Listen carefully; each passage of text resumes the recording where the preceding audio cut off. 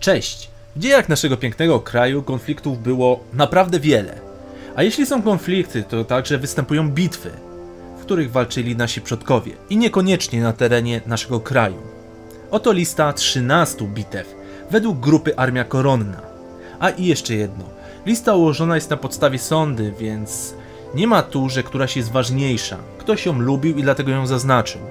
Ale spróbuje każdy wybór jakoś tam uzasadnić. 13 miejsce przypada bitwie o Anglię 1940. Podczas tej bitwy nasi piloci wykazali się nie tylko odwagą, ale też i skutecznością. Zestrzelono 203 maszyny wroga, co stanowi 12% strat, jakie Luftwaffe poniosło podczas tej bitwy. Miejsce 12. Odsiecz Wiedeńska 1683. Jest to jedna z najbardziej znanych bitew. I najciekawsze jest w niej to, że przy takich masach żołnierzy, czyli 70 tysięcy dowodzonych przez Jana III Sobieskiego i przynajmniej 100 tysięcy żołnierzy Kara Mustafy, bitwa kończy się po 12 godzinach, z czego 11.30 przypada na ostrzał artyleryjski i walkę piechoty, a ostatnie pół godziny to szarża kawalerii z husarią na czele. Wielkie zwycięstwo, które zmieniło bieg historii. Miejsce 11. Bzura 1939. Największa bitwa kampanii wrześniowej, w której przez trzy dni Niemcy nie mogli sobie poradzić z armią Poznań i resztkami armii Pomorze. Walki były tak zaciekłe, że po naszej stronie zginęło aż trzech generałów. Niemcy do opanowania sytuacji potrzebowali ściągnąć dodatkowe siły w postaci 19 dywizji oraz silnym wsparciu lotnictwa. Generałowi Kutrzebie udaje się z resztką oddziałów przebić do Warszawy. Miejsce 10. Monte Cassino 1944. Porażające są straty oddziałów, które musiały atakować wzgórze Monte Cassino przed nami. W sumie szacuje się, że po stronie aliantów zginęło 54 tysięcy ludzi. Zdobycie tego wzgórza przez drugi korpus polski generała Andersa jest bardzo cenne. Wyparcie z pozycji obronnych pierwszej dywizji spadochronowej i w efekcie zdobycie ruin klasztoru otwiera drogę do Rzymu. Miejsce dziewiąte. Obrona Westerplatte. Oczywiście można dyskutować, czy obrona miała sens militarny, ale jej wpływ na stan ducha walczącego narodu jest znaczny. A Westerplatte jest atakowany od pierwszych minut wojny. Pancernik ostrzeliwuje ich pozycję, spadają bomby z samolotów i następują ciągłe szturmy Niemców. Nie ma szans na przebicie lub odsiecz. I to wszystko w mieście, które chce włączyć do Rzeszy Hitler i bardzo mu na tym zależy. I teraz puszczę Wam komunikat Polskiego Radia, najprawdopodobniej z 5 września 1939. Wojska niemieckie zajęły Częstochowę. W walkach powietrznych strąciliśmy 14 samolotów nieprzyjacielskich przy stracie trzech własnych. Westerplatte walczy. Po ciężkich bojach zmuszeni byliśmy opuścić Grudziądz i Bydgoszcz. Miejsce ósme. Kłuszyn 1610. Naprawdę ciężko sobie wyobrazić sytuację, jaka nastąpiła podczas tej bitwy.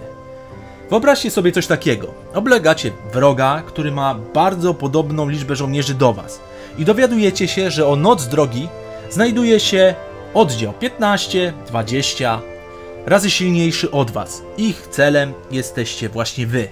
Stanisław Żółkiewski stojąc przed takim wyborem i mając do wyboru odwrót czy zaryzykowanie grę o wszystko, wybrał to drugie.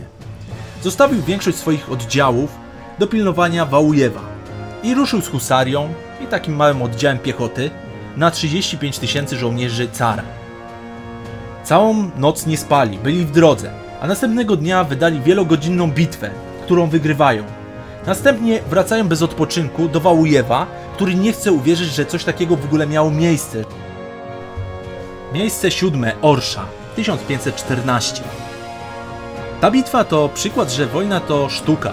Hetman Wielki Litewski Konstanty Ostrogski przeprawia armię praktycznie pod nosem wroga, na drugą stronę rzeki przez prowizoryczny most.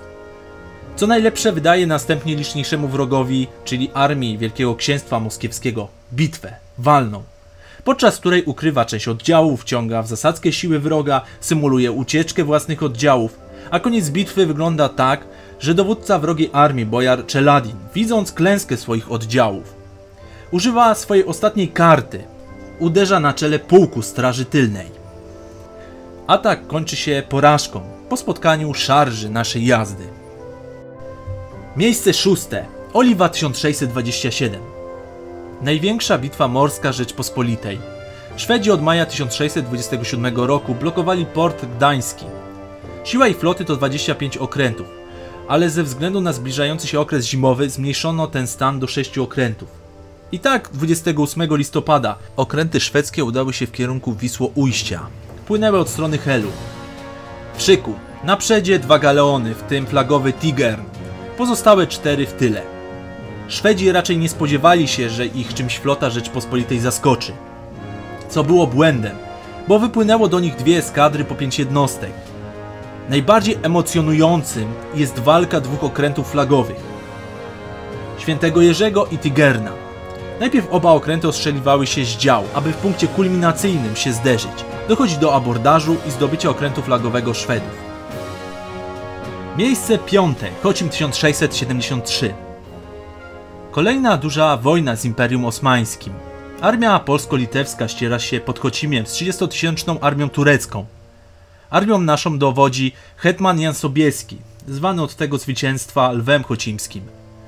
Bitwa trwała kilka dni, ale nie licząc ostatniego, wszystkie inne sprowadzały się do zmasowanego ostrzału umocnień tureckich. 11 listopada zaczął się szturm generalny, którego skutkiem była panika wśród Turków i zdobycie dobrze ufortyfikowanej i zaopatrzonej twierdzy. Miejsce czwarte, Cedynia 972. Jest to bitwa, o której wiemy, że była. Brak jednak opisu, co się działo. Dyskusyjne jest też miejsce. Wiemy, że wojska Mieszka I rozbiły wojska Margrabiego Hodona, dokonując na nich istnej rzezi. Skutkiem tej bitwy jest umocnienie władzy Mieszka na Pomorzu Zachodnim. Miejsce trzecie, Grunwald 1410. Jedna z największych bitew średniowiecza. Siły polsko-litewskie starły się z najlepszymi oddziałami zakonu i Europy Zachodniej. Podczas bitwy wycięto większość dostojników zakonu krzyżackiego. Nasze straty sięgały 2000 zabitych, a krzyżaków około 8000 ludzi. Tak duże straty wroga wynikają z panicznej ucieczki, a nie strat w boju. Miejsce drugie, Chocim 1621. Dla mnie osobiście jest to ważna bitwa, bo podczas niej zmarł Jan Karol Chodkiewicz. Najciekawszym epizodem, przynajmniej militarnym, jest szarża 600 husarzy, którzy zmusili do ucieczki 10 tysięcy Turków. Podobno Chodkiewicz zakazał Lubomirskiemu atak wszystkimi dostępnymi chorągwiami, w obawie przed pozorowanym odwrotem Turków, co oznacza, że straty tureckie mogły być o wiele większe, gdyby Chodkiewicz zdecydował się na uderzenie wszystkim co ma. Miejsce pierwsze, najbardziej popularne. Bitwa o Warszawę 1920. Bitwa, która ma ogromne znaczenie geopolityczne, bo zatrzymała ekspansję Sowietów na zachód. 13 sierpnia 1920 bolszewicy zajmują Radzymin. Kolejnego dnia zajmują Osów. Są o włos od Pragi. Dochodzi do ciężkich walk. Zwycięstwo jest wynikiem wielu czynników: bitności zwykłego żołnierza, dobry plan generała Rozwadowskiego i szczęście, a raczej brak koordynacji po stronie bolszewików. Pozdrawiam Was, moi bracia i siostry. Cześć! A i jakie są Wasze propozycje bitew, o których warto byłoby wspomnieć?